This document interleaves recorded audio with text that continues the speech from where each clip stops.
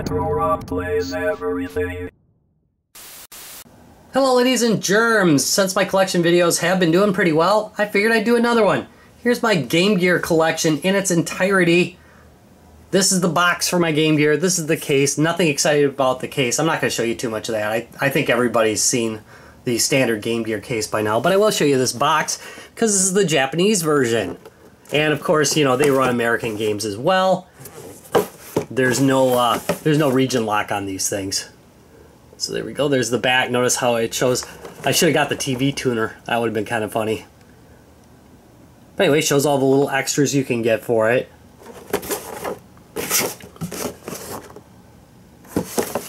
And here is the Game Gear itself. Now this one has been recapped. Uh, I bought it recapped, but I put in a uh, fluorescent, not a fluorescent, I put in an LED backlight into it uh, just so the battery lasts longer. Plus, it's a little bit brighter. The uh, the original lights were getting a little bit dim, and I decided, well, I might as well improve it a little bit. So I did do that to it. Other than that, it's pretty much stock. I didn't do the uh, I didn't do the LED uh, back. I, I'm sorry, the LED screen mod. It's just an LED backlight, not a complete screen replacement. So it has still the same characteristics of the original Game Gear, um, just just a little bit better lighting and using about half the batteries. So that's not super exciting, but somewhat exciting, right? All right, let's keep going. Uh, I've got the Game Gear battery pack. This one indeed uh, still works, which is kind of a rare thing. I think I got that as a refurb a while back. I also have the power supply for it. Why wouldn't I? Here, I'm going to put this back because it's not very exciting to look at. Uh, also have the the magnifying glass for the screen. I've never ever used this. I have glasses, so I just use my glasses if I need to, instead of some weird looking thing that I snap onto the unit. Never been a big fan of those things at all, honestly. Alright, going on to the games. Here we go. Uh, we got Sonic the Hedgehog 2, of course, everybody has that. And then, of course, Sonic and Tails. Uh, everybody gets that one because it came with the machine.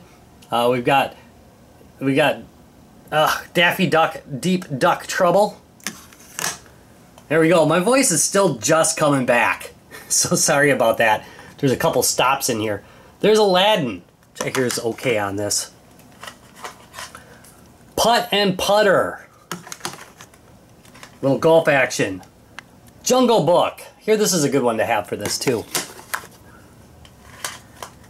Paperboy 2, I've played this. I enjoy it quite a bit. It's hard to keep up with it um, because of the screen, but it's really not a bad game. So there it is, Paperboy 2.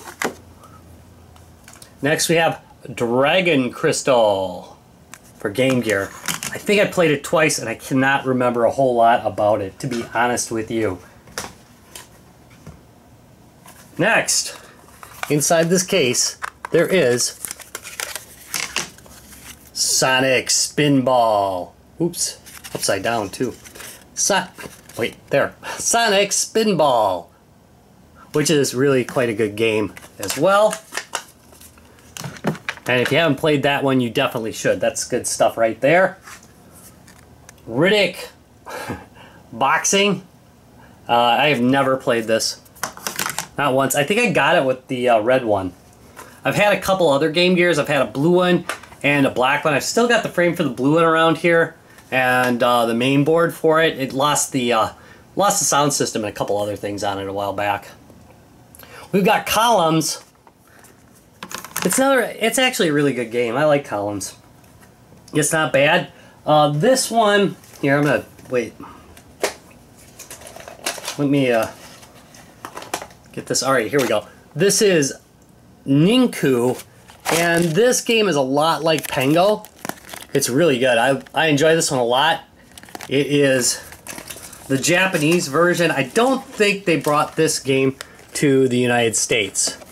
So uh, that's a really good one. I like that one a lot. Another one. Great port, but again, you know, the screen's just that little bit too small. Uh, Off-Road.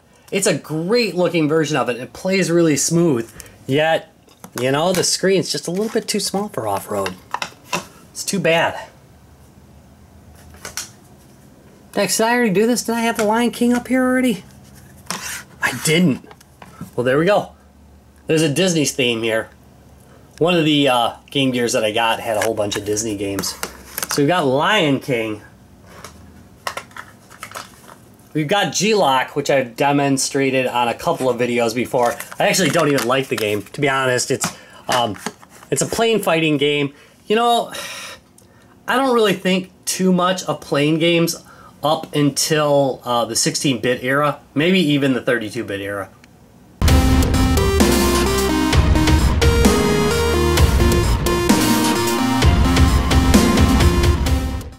Okay, I'm gonna adjust the camera a little bit. Next, Shinobi 2. Little Shinobi action. This is another one that pretty much everybody who got the console got with it. There's a fairly common uh, ninja game for it. Urgh. Next one is not opening. There we go. Super Monaco GP 2. I've played this a couple times. It's not bad. Uh, it's not great. Just kind of in the middle there. Next we have Zool. Uh, and this is a really good version of Zool. It's too bad, again, the screen has a really hard time keeping up with the game, which knocks a couple points off, but it has everything you expect in Zool, and Zool's a really good game. Uh, especially those of you who came from the Amiga will remember this game. And uh, it's Chupa Chups tie-in. I don't remember, I think they changed the tie-in for this too, as I recall. I don't know, if anybody remembers, let me know down below. I'll probably play it afterwards and know. Halley Wars or Holly Wars. I think I got that with one of the uh, one of the consoles too, but uh, cannot remember which one. Barely played it. And now here's two. I played quite a bit on this. Uh, we've got Pac-Man. Oops, sorry. There we go. Pac-Man for the Game Gear. And we got Ms. Pac-Man. Because you should have both, in my opinion. If you have Ms. Pac-Man, you're probably not going to be playing the original Pac-Man. But, you know, that's how it is. Uh, next, we got another one of my favorites, Ristar. Or is it Ristar or is it Restar or Rystar? I really like this game a lot. It's a platformer. It's fun. Really enjoyable. It's good on the uh, on the Genesis as well. Well worth playing. Should definitely check that out if you happen to have one. There we go. Um, next, we have this Chinese puzzle game, uh, Chinese, Japanese puzzle game. If anybody knows the name of it, I cannot for the life of me remember the name of it. It's one of those ones that I just picked up at random at uh, at an auction with a bunch of other games. So if anybody remembers the name of this, let me know. Uh, my my Japanese is not at all good in any way, shape, or form. And then finally, we have Pengo, which is excellent. And yeah, I noted earlier that I got kind of a fake Pengo game, and then I also have uh, the original Pengo, which plays really well on the console. It's a very nice, uh, very nice version of it. I like it a lot, and I happen to like the Game Gear a lot. And that is it. That is my entire Sega Game Gear collection. If you have any games you think I should add to this collection, particularly Japanese ones, I'm always looking for these uh, Japanese boxes. I love these. The games tend to be cheap. So if you know any good ones, let me know in the comments down below. Thank you very much for watching this. If you enjoyed it, give me a thumbs up and subscribe for more. And I'll see you later. Probably in a couple days.